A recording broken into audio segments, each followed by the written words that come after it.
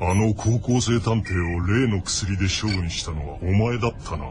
ふんガキの姿になって生きていたとはな。組織はあなたと関わった人間を全て消すつもりよ。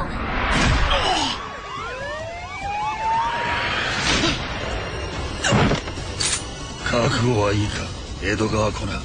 いや工藤新一。コナン君。シリーズ第13弾劇場版名探偵コナン。漆黒のチェイサー。